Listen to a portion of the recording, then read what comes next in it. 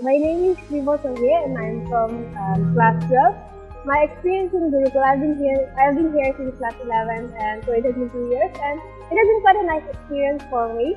Um, everything, especially the things I love most about Gurukul is the security and the uh, comfort which it provides to this uh, vast infrastructure and the comfort and the various facilities which you get. And I think I've really made a nice decision in coming here and I think um, I have a good time further the few months which I have. And even in my academics, uh, I, I, I really I really think this is a very good choice, and I hope that you know more people will make the good choice of coming here.